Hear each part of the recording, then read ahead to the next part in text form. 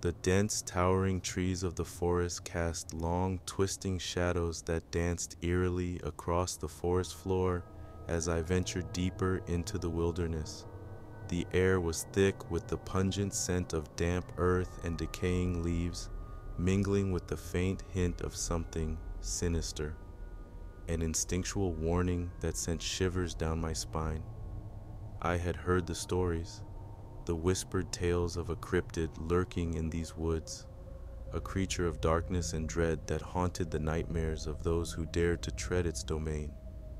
They called it the shadow in the woods, a creature of myth said to be neither flesh nor spirit, but something altogether more malevolent. But as I ventured deeper into the heart of the forest, my curiosity outweighed my fear, driving me onward in search of the truth that lurked just beyond the shadows. With each step, the underbrush grew thicker, the trees closing in around me like silent sentinels guarding the secrets hidden within their depths. And then I saw it, a flicker of movement amidst the trees, a dark shape darting through the undergrowth with unnatural speed. My heart skipped a beat as I froze in place, my senses on high alert as I strained to catch another glimpse of the elusive creature. The forest seemed to hold its breath as I stood there, the silence broken only by the rustle of leaves and the distant cry of a lone bird. And then, with a sudden burst of movement, the creature emerged from the shadows, a towering figure with eyes that gleamed like burning coals in the darkness. My breath caught in my throat as I stared at the creature in awe and terror, its form twisted and unnatural, like something out of a nightmare. Its eyes bore into mine with a fierce intensity, devoid of warmth or humanity, as if peering into the depths of my soul. But even as fear gripped me like a vice, a strange sense of determination took hold, a primal instinct urging me to confront the creature that lurked in the darkness. With trembling hands, I reached for the flashlight at my side, the beam cutting through the darkness as I dared to make contact with the beast. The creature lunged backwards at the sight of the light, its form covered in darkness as it retreated into the shadows once more. But I refused to back down, my heart pounding with adrenaline as I pursued it deeper into the forest, determined to unravel the mysteries that lay hidden within its depths. For hours I chased the creature through the tangled undergrowth, my senses heightened to the slightest movement or sound. But no matter how fast I ran or how closely I pursued, the creature always stayed one step ahead, its form slipping through my grasp like smoke on the wind.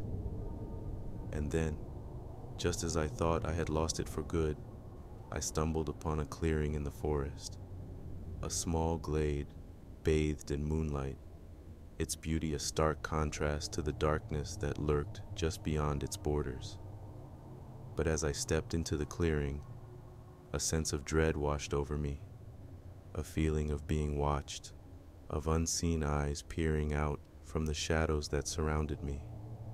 With a sinking heart, I realized that I had walked straight into the creature's trap, a prisoner in its twisted game of cat and mouse.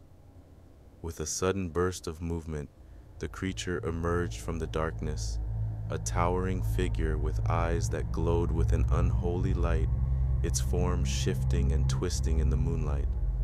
And as it advanced towards me, its intentions clear, I knew that I was facing something far more terrifying than I had ever imagined.